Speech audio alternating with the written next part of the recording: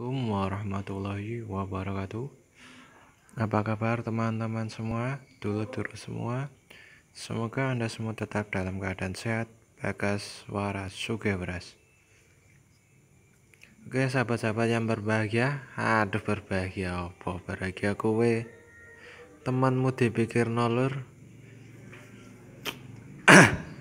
Oke di video kali ini saya akan berbagi informasi ya di mana letak daripada sepeda motor nomor rangka dan nomor mesinnya ya? Motor Yamaha Vega. Vega atau Vega R yang lama ya. Yang lampunya masih kotak seperti ini. Ya. Ini motor bebek. Mesinnya basicnya habis. Hampir seperti Krypton ya ini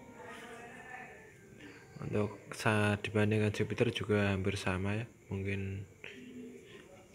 Kalau untuk klep sih kalau masih yang Vega lama ya atau jenis Krypton tuh kalau nggak salah klepnya mas anu, sama dengan yang seri Jupiter ya yang Jupiter Z ya. Sedangkan Vega yang sudah R walaupun yang kodak itu klepnya lebih kecil ya.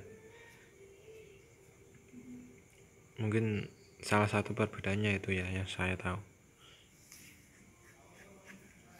Oke, langsung saja ke poinnya ya. Ya nomor untuk nomor mesinnya berada di atas bak magnet ya ini. Ini nomor mesin lur. Ini ada 4 ST3613 sekian sekian lur. Itu untuk nomor mesin, sedangkan untuk nomor rangka ada di balik ini cuy. Jadi jika mau me mengecek nomor rangkanya Anda harus membuka ini. Buat ini dan ini ya. Soalnya kalau tidak dibuka Anda pun tidak bisa mengecek ya bos.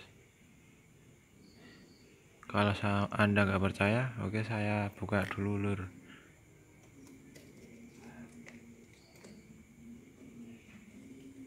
Ini saya buka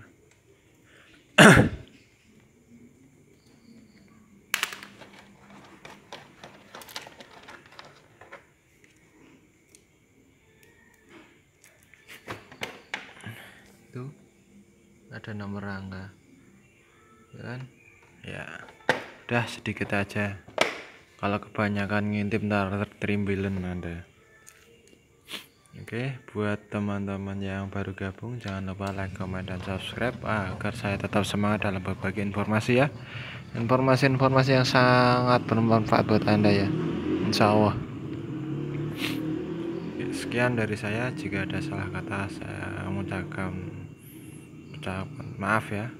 Buat teman-teman yang sudah subscribe saya ucapkan terima kasih. Assalamualaikum warahmatullahi wabarakatuh